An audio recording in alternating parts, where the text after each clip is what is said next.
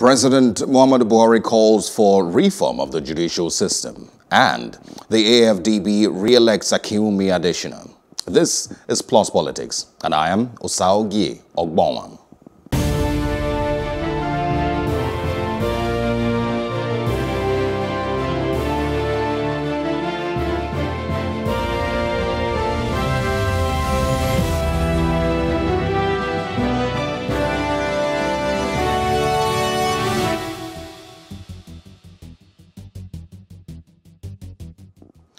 President Muhammadu Buhari has called for an urgent reform of the judicial system with the aim of quickening the slow pace of trials in the courts. He said this through the Vice President Yemi Osinbajo, who represented him at the 60th Annual General Conference of the Nigerian Bar Association. The president also frowned at the multiple and conflicting orders of courts. Joining us to discuss this is Liborous Oshoma and Chijoke Agbo, both legal practitioners. Welcome, uh, Barrister Agbo. Thank you very much. And, and, also, uh, good evening to uh, Liborous Oshoma. Pleasure. Thank you. I'm going to start with um, uh, Mr. Agbo. I want to kick off with you. President Muhammad Buhari charged operators of the legal system to take steps uh, towards changing the narrative with regards to the slow pay, uh, pace of the judicial system or justice delivery system. What would you say are the biggest causes of slow delivery of justice in Nigeria? Thank you again. Um, the Nigerian judiciary uh, operates um, with a lot of constraints. Constraints of uh, manpower, constraints of uh, facilities, constraints of uh, various kinds. Let's take uh, the court system, for instance. If you visit some of our courts, the facilities are not adequate. At this age and time, our high court judges still take you know, evidence in long longhand. Even in the magistrate court, it's the same thing. Sometimes power outages and so on. You, there are quite a lot of problems. Then the court may come and be able and be willing to take on the matter. And for instance, an accused person will not be brought from the correctional center.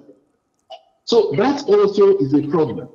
They too have logistic problems of meeting with the logistic, logistics of moving uh, suspects from their centers to the court. It can also stall process. Again, uh, some of our colleagues too, they have one reason or the other not to want the matter to go on. So the problems are quite many. And most importantly, the recruitment process of judicial officers must be depoliticized. There is so much involvement of the executive in this whole process. And I think it goes to impact on the outcome of the judicial system. You know, because sometimes when you appoint people, you will not expect them to always uh, be bold enough to stand against you. So these are things. Then, with respect to issues of conflicting judgments, you can see all of it.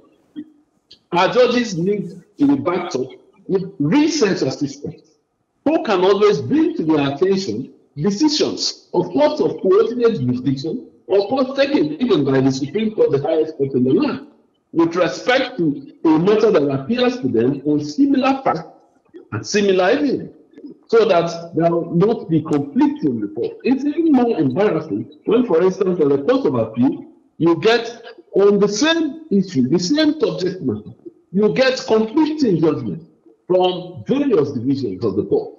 It does not offer well to our system. Then the president's talk, I hope he, he works his talk, because the executive must fund the judiciary to be able to deliver. You know, it's not enough to say that uh, you want matters, for instance, from court to first instance, to get to the Supreme Court and be concluded within 15 months. Is a tall order. Do we have the facilities to meet that? I think we are very far from achieving right. that. Yes. Okay, I'm going to go to uh, Liborous Oshoma now, and I'm going to ask about, um, um, you know, a similar question, you know, but I want to know if the, the challenge that you see is strictly with the judicial system, or is it intertwined with other institutions of government, other government agencies that also contribute to this slow pace of um, justice delivery in Nigeria? Um, I think um, Ours is is a problem of uh, it's a systemic problem, really, and um, sometimes I I laugh when I hear people who ordinarily should be the one correcting this systemic problem, you know, to also be complaining about the problem. This is not the first time the president is complaining about um, the judiciary being his headache. At every time that the president is a, a, um, um, invited to the NBA, Yeah. his um, address is always about the judiciary being a headache. And um, I had expected that, yes, you know that this is your headache. What are the um, analgesic that you are taking to ameliorate the problems?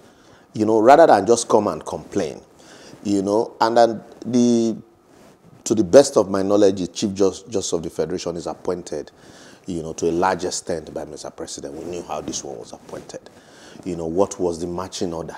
What was, you know, the fundamentals? Yeah. We all know that even the introduction of the Administration of Criminal Justice Act to fast track the dispensation of criminal justice in Nigeria is bogged down by lack of the infrastructure to enhance the, the, the applicability of that act. Take, for example, now you have so many matters but fewer hands. If you read um, Fatai Eso, um, just uh, CJN of blessed memory, his, uh, his book, Cases, Places, and Faces. He talked about the days when a judge will start a matter on Monday and by Friday he has delivered judgment because the cases were fewer and the hands were more. Now you have more cases, including both frivolous and non-frivolous ones, and fewer hands still handling the same number of cases. And then coupled with the fact that you now have time-bound cases, electoral matters, and it is the same judges that are going to handle those time-bound cases. So the other cases will suffer. And then lastly, you also now have the NJC that is not ready to weight the big stick, where judges are giving conflicting orders. I expected that the NJC should have, you know, a department to review some of these orders and some of these um, judgment that were given by judges. But the NJC is almost like a lame dog, doing Yeah. anything, doing nothing. And so these are some of the the bottlenecks that you know is inhibiting the quick dispensation of justice in Nigeria. Let me give you an example. Not too long ago, the Chief Justice of the Federation said that for the Supreme Court, for ordinary matters, there are no available dates apart from 2022, 2023. And it is that bad. In Lagos State, for example, you have about 70 something case uh, courts to cater for almost the 1 million cases that are going to come into those courts. And of all of those 70 something courts, you have just two chambers of the Court of Appeal to take care of all those cases that will come from, of the appeals that will come from, you know, those, um, those um, courts. And then all of the close to 30 Court of Appeals all scattered all over the Federation appeal lies to the Supreme Court, and you have about three chambers or so.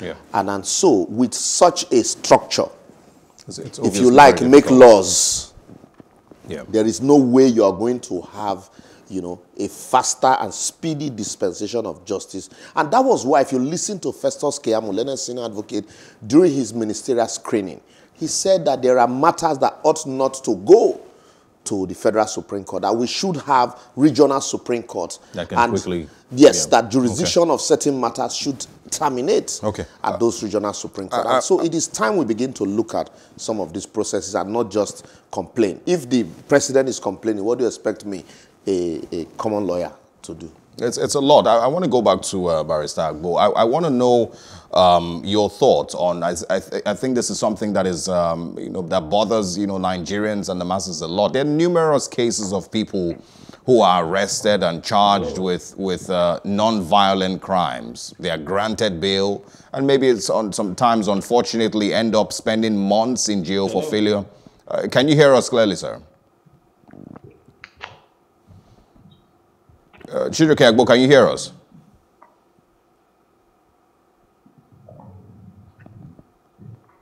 All right. Um, if, uh, we think we're going to have to reconnect with uh, him. I'm going to go back to Liborous. There's, there's um, cases of uh, people who have spent um, months, maybe even years in jail. Um, people who are arrested for non-violent crimes who eventually end up, you know, behind bars for years. Without any, you know, maybe unfortunately couldn't afford to, you know, sort out their bail conditions. Do How know? do we have a system that can stop these at occurrences? Some, at some point, you know, there were times when we set up mobile courts. Some of these courts who sit even the premises of the correctional centers, where some minor offenses would, you know, be heard by magistrates, and there and then, um, you know, appropriate sanctions meted out. Even Lagos State tried what they call, um, um, uh, what do you call it now? They had um, a system where you know, for minor offenses, you could serve um, punishments like, um, you know, maybe two weeks or one month of hard labor, you know, having to sweep streets, yeah. you know, with a, a, a, vest, you know, to show that you're actually convicted and you're serving, you know, um, punishment. But thanks to corruption in the system, that system also had been abused where people, you know, by people who are supposed to oversee it because there are no consequences for action here. Where some people are convicted, they are sentenced to hard labor, you know, all they need to do is to settle the people in charge and then they go back home. And, and then you have a system also where we do not have records. Records, appropriate records are not kept. How do you now, without necessarily having to go to the high court, assess, you know, information on you know, whether somebody is convicted or not, records. If you commit an offense, for example, in Apapa, you are booked as a first offender, and then you go to Alakuko, or you go to somewhere in, in Igondo, or you go to Mowe to commit that same offense. You know, if you are not shown on television, you are still booked as first offender. You know, these are, these are some of the problems. And so you find out that the rich man that has money is able to hire lawyers that will slow down the dispensation of justice and because there are no appropriate sanctions for that lawyer also, Ibori's lawyer is in jail or went to jail with him for delaying the course of justice. When you see that a matter is, you know, from the evidence gathered, it is obvious that a crime has been committed. As a lawyer, you take up such a matter and you want to delay, the appropriate body will also sanction you. Yeah. And you might go in for that. You might even lose, lost your certificate. But here, all of these things are not in place. And so, because of the hunger, every lawyer would take up any matter, even though you know that patently that that matter, you know, your, your, your uh, what do you call it, client, you know, committed the offense. Provided he's paying much, you put all kinds of spanner in the wheel. And then the system accommodates you. There are no, you are not sanctioned because you are a lawyer. And, and in the, at the end of the day, that matter will grind on. And so, because you have such precedent, there are people who cannot afford lawyers also. They just rot in correctional centers. And so that's why for me, when even when the name was changed from prisons to correctional center, it's not in the name. It is in the attitude, in the facility that you put in place that will ensure that, if you like, call it prison. But if the facilities are there to actually correct and rehabilitate, you know, anybody that goes in there and comes out will be properly rehabilitated. But when the facilities are not there, just like also the facilities in the judiciary also are not there. Go to some state, you see some magistrate, you, you wouldn't even want to be one. You know, so it is that bad. Osinbajo did try it when he was in Lagos as an attorney general. It was very bad in Lagos. It used to be very bad. But what he did, two instructive, two instructive steps he took. The first was to ensure that the sector was enhanced their remuneration, the cost of living was were enhanced, and then they weeded out the corrupt ones. Yeah. And they stood by their guns. And then the second thing they did was to introduce, you know, what you call um, collaboration, private sector collaboration between, you know, they introduced what they now call, what we now know as, known as the multi-door courts house, where, you know, you can take your matters to arbitration in collaboration with the state judiciary and judgment at the end of the day would be obtained by negotiation. So cases that were ordinarily supposed to go to the regular court we're given an opportunity where arbitrator, you can sit out as an arbitrator. Once you are certified as arbitrator, you sit as an arbitrator, even though you are a lawyer in a matter, and at the end of the day, you, are, you help to resolve the matter. The matter is taken before a judge, who, and all you need to now do as lawyers is to adopt the resolution reached, and boom, it becomes the judgment of the court. So these were ways also that they ensure that cases that would have taken years to handle were dealt with. So in the same vein, there is need. You see some of the state government also, you know, introducing some of those, you know, laws in their statute book. But for criminal matters, you cannot, for obvious reasons, take those ones to arbitration. Let me, let me quickly ask about um, the president talking about 12 to 15 months. Um, he is commander in chief. Um, of course, like you also said, you know, he appointed the CJN, you know, based on how, you know, that played out. What would you suggest that the president or the executive should be able to put in place immediately? Because why I'm saying this is because it's not the first time that we're hearing these type of statements. Yeah, exactly. um, last year also, President Mahmoud Buhari made a similar statement. Yeah. Um, but there doesn't seem to be any actual action taken. Because um, it's like the president's, you know, like to hear himself talk when these issues are concerned. I, I do not want, I want to see less of, you know, talk, but actions. I had expected, look at the existing laws. Where can you come in? What is the government doing? Are they sponsoring a, an executive bill to ensure there is speed, a speedy dispensation of justice?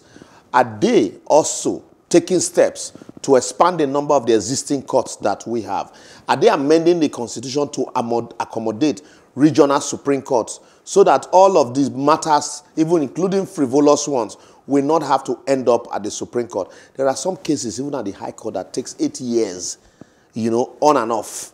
And, and so, one would have expected that, oh, I want to hear in the news that the government has taken steps They've taken steps, they've introduced bill, they are going to, they are appointing new judges. So, so this is not a, a message that should be going to the judiciary. No, this is, should be a collaboration between the executive and the judiciary on how best they can ensure that the windmill of justice here grind faster. Because when we do all of these things and then we compensate ourselves by saying the windmill of justice grinds slowly but surely. But we forget that justice delayed is justice denied. You know, you must be able to marry the two together for you to actually sit down and say, look, uh, justice here is, is very slow. And so now it's like you are a military commander, you are giving a marching order to a court martial, to a, to a tribunal. It doesn't work that way. And then also you have lawyers who intentionally take matters to court that ordinarily ought not to be in court. Let me give you an instance. The matter, the APC crisis, yep. At some point, a court in Abuja gave one judgment today. A federal high court in uh, Kano gave another judgment in the same matter, in the same set of facts. And then you now begin to ask yourself, being a, a matter that happened in Iyamho, at least they said that um, the, what do you call it, um, the party uh, ward chair, uh, uh, chairman and his members suspended the national chairman because he must be suspended from the world. What is the jurisdiction of the FCT High Court? This is not the Federal High Court now. In such a matter. You know, I expected that immediately it happened, the NJC should look at, and then that's why also we do not need a, an NJC that sits on ad hoc basis. You have a lot of retired justices that are not doing anything, they are consulting. Why don't you incorporate them into the NJC to ensure that they are still, they are still very busy? So immediately such steps, uh, such happen, the instrumentality of the NJC is activated to ensure that, you know, such a scenario is studied and then any judge that gives such order will immediately be summoned to come explain. By so doing, because ours is a peculiar society, some people will say, oh no, judges will not dispense justice without fear or favor. But the situations where justice is, judges are dispensing justice and it seems that those justice, that justice is bought, that is also not dispensation of justice without fear or favor. So there's need for a body to timelessly look at those issues. So when you know that the big hammer, NJC is going to weigh the big stick, yeah. you're not going to, no matter the inducement, you are certainly going to ensure that, you know, you look over your shoulders and say, look, I know these other people are watching. That was why Kayode Eso JSC of blessed memory, this yeah. say, the way we were going, before we know it, we'll create, create billionaire judges because when judges were going to election petition tribunal and you hear allegations of bribery, inducement, and the kind of conflicting judgment that were coming there from, and that was why the Supreme Court said, okay, now all governorship matters, let them terminate at the Supreme Court. But some people also fed because Supreme Court wanted a, a share of the cherry. And I'm, I'm just going to bring that up. We have about a minute left to wrap up the segment so we can move into other things. I was just going to bring that up. Um, how do you feel that corruption can also be stamped out? Because I've heard people say, even in cases where there were internet fraudsters, you know, were arrested outside Nigeria, were sent to jail. I've heard people say, oh, you know, they probably should have just run to Nigeria. They, they wouldn't have gone to jail. Yeah. So how do you, in one minute, please, first, how do you stamp out corruption? First and foremost, we should understand that prosecution starts from investigation you cannot strengthen the criminal dispensation of justice without strengthening your police system. Over there, before the police makes arrest, they would have investigated to the end. Yeah. And so the day you are caught, be sure that you are going to court the next day. But here, the police arrest on allegation even before investigating. And, and that's the difference. You first need to reform that. All right. And then once you reform that, you now be face the judiciary. So that once the matter gets to court, the, you would have crossed your T's and dot your I's that it would be so obvious that the accused will have no other option but to say, I actually did this. Okay. And then he will be pleading for mercy. But when you have not even alleged anything, you have not even investigated anything against him, he gets that it is that time you are fishing for evidence. It is easier for him to compromise you and then find his way out. All right. Um, thank you very much for staying with us. We'll take a short break, and when we return, um, Akinwumi Adesina to preside once again over the AFDB for another tenure. We'll be right back.